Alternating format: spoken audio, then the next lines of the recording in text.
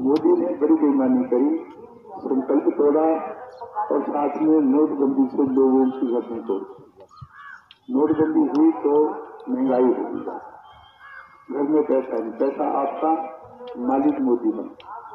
पैसा बैंक में जमा है कतारें लगी कई कई दिनों तक लाइन में खड़े रहे, एक सौ तिरपन आदमी मर गए, अपना पैसा लेने के लिए खड़े थे लड़के की लड़की की शादी है पैसा नहीं मिला।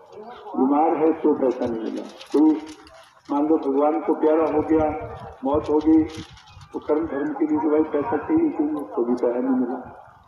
और होते होते मैं आपसे ये कहना चाहूँगा कि जितने काला धन वाले लोग थे, आगे पता लग गया कि अंदर करेंसी नहीं है। पिछले दरवाजे से जो बड़े बड़े जो लोग हैं, उन्होंने अपना काला धन बिल्कुल साफ़ कर लिया।